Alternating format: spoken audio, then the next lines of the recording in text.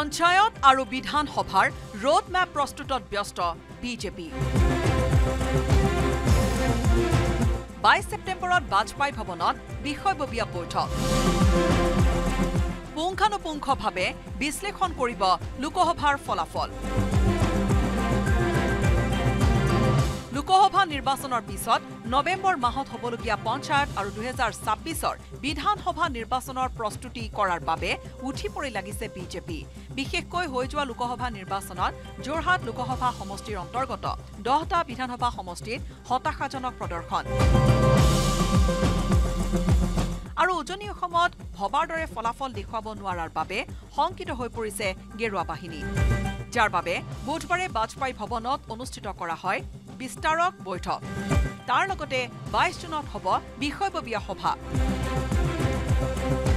এই সভাতে প্ৰত্যেকখন জিলাৰ সভাপতিয়ে মুখ্যমন্ত্ৰী আৰু ৰাজ্যিক বিজেপিৰ সভাপতিৰ সন্মুখত দাখিল কৰিব লাগিব ৰিপৰ্ট কাৰ্ড। লগতে পৰিকল্পনা কৰাৰ দৰে ভোটৰ হাৰ কিয় হ্ৰাস পালে তাৰ উত্তৰ দিব লাগিব সভাপতিসকলে।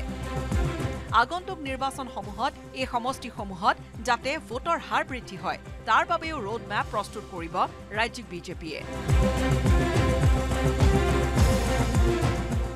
বাইছ তাৰিখে আমাৰ বিষয়ববীয়া সভা আছে। তাৰ পৰৱৰ্তী সময়ত এক্সটেণ্ডেড অফিচ বেয়াৰ অৰ্থাৎ বৰ্ধিত বিষয়ববীয়া য'ত আমাৰ যি সন্মানৰ জিলা সভাপতিসকল জিলাৰ প্ৰভাৰী সভা সেইসকলৰ লগত আমি আলোচনা কৰিম। আৰু পৰৱৰ্তী সময়ত সন্ধিয়া চাৰি বজাত আমাৰ নৱ নিৰ্বাচিত সন্মানৰ সাংসদসকল লগতে তৃতীয়বাৰৰ কাৰণে দেশৰ সন্মানীয় প্ৰধানমন্ত্ৰী নৰেন্দ্ৰ মোদী ডাঙৰীয়াৰ চৰকাৰত আমাৰ অসমখণ্ড দুজনকৈ স্থান পাইছে।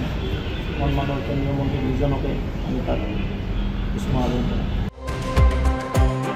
উল্লেখযোগ্য যে বিষয়ববীয়াৰ সভাৰ দিনাই মুখ্যমন্ত্ৰীয়ে সাংসদ আৰু বিধায়কসকলৰ পৰা গ্ৰহণ কৰিব মতামত।